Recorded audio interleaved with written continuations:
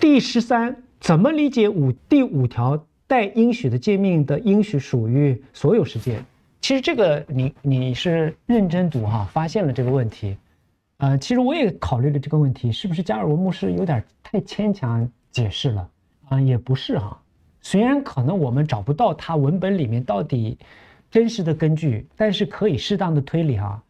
嗯，这个推理不一定准确，但是我的理解哈，就是他解释所有的界面的时候，其实里面很多的精神是很广的。上帝，特别是他解释这个应许长寿的时候，解释了这个长寿本身不重要，重要的是。因为什么？还有夭折的孝敬的孩子吗？没成年就孝敬的孩子却没成年死了，这种现象怎么解释？然后还有恶人活千年这个事情怎么？就是说恶人活了很长时间，那到底怎么？那是特例，所以重点不是长短来判断他行的对与否。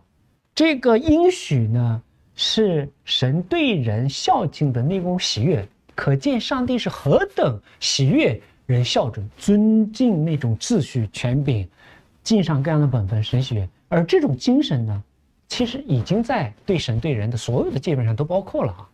神喜悦人的顺服，乐意赏赐给他。这是第一条，注意（括号）第一条带应许的界面。为什么说第一条？应该说唯一一条就得了呗。话不多说啊，我们